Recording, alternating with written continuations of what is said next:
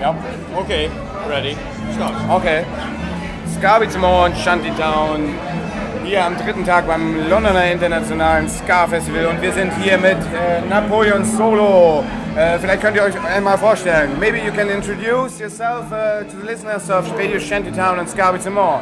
Yes, hello there. My name is uh, Søren Christensen and I'm from Napoleon Solo. I'm the lead singer. And hello, my name is Jasper Jørgensen and uh, I'm a singer and a guitarist. Okay, well, maybe you can describe the feeling uh, of your gig and uh, how it was. It was really great playing here. We played back in uh, 1988 uh, at the uh, the first London Ska Festival, The original one. the original one. Yeah. So that's uh, that's a long long time ago, yeah. and it was great being back and uh, playing again. It was a wonderful crowd. Okay. Can you tell us uh, if something has changed or is this st- still the same vibe? Can you tell us something? I mean, you've been on the first one. Yeah, uh, well, it's uh, the age of uh, our public, uh, our, our audience has changed a lot. Uh, they're, they're the same age as us, Yeah. uh, 40 plus uh, years, and uh, well, it's, it's fantastic to see so many, uh, so many middle-aged guys uh, and girls uh, coming to a to a gig like this. I think it, it's, it's a mixture. There's both some young people and, Yeah. and of course a lot of uh, original fans that kind of follows the music. How did it come that you uh, invited uh, to play here? Well, as, as uh, Son said, we, we played in uh, 88 and uh, we, we sort of kept uh, contact to uh, the arranger, Sean, uh, Sean Flowerdew. And uh, when he was uh, putting on this uh, festival, um, he asked us if we'd like to come back, and of course, yeah.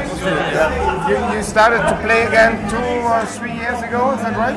Yes, we were formed in 1984, Yeah. so that's a long time ago. And uh, then we played for like 10, 12 years. And then there was a break for 10 years, and then the band was uh, reformed. Uh, the short version. for, for, for a short period. Uh, and people people uh, had, had uh, little children and they didn't have the time. But now uh, our children has become older and now we have the time again. And uh, we reformed uh, again uh, two years ago. Uh, do, do your children um, like what you do? Actually, I, I say my, my children, I'm, I'm very lucky because I, I didn't in any way try to force them into kind of, you must like ska because daddy used to play ska and stuff like that. And they kind of discovered it themselves and uh, went to some concerts and listened to some of the music. And they kind of really dig it. So they they kind of uh, they, they come to some of the concerts in Denmark and they're kind of proud of that. So that, that's really great feeling. Yeah. My children are, are a little too young. Okay. Um, my, my oldest son, uh, he, he thinks it's uh, sort of cool that I play in a band, but uh, he doesn't like the music yet. Okay, maybe, maybe later. Maybe later, yeah. When they grew up.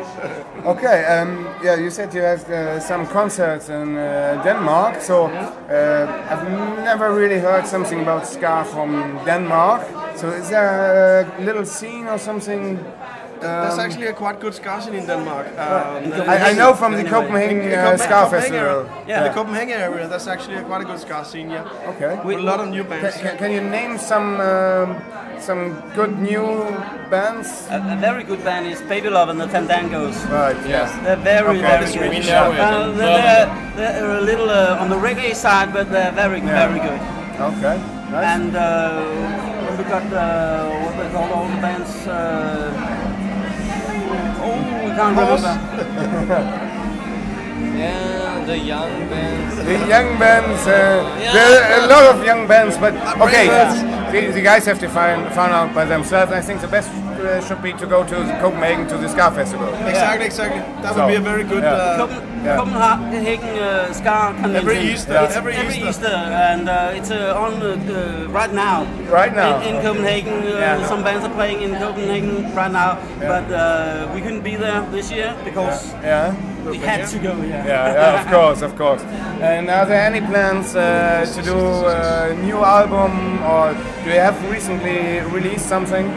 We uh, are just about to release uh, a remastered edition of uh, our old uh, album called Shots. Yeah. And uh, in a month, uh, we'll have a one track out. Uh, it's a, supporter song for uh, the football uh, club uh, FC Copenhagen. Okay, right.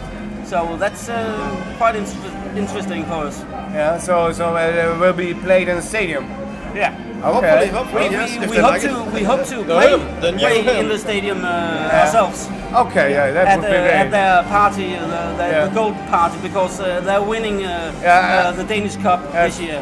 Yeah, the Danish Cup and the uh, championship as well by Yeah. 25 points or something. Yeah. Yes, they are. They're, They're they're huge. very uh, very Yeah. far ahead. Yeah. But our general ambition is definitely to make some new songs and Yeah. uh, hopefully release a new album. That would What, be what, what kind of style will that be?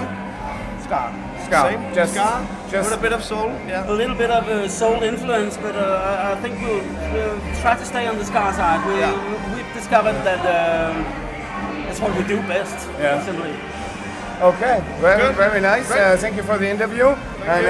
have fun at this night. Eh? Thank you, Arne.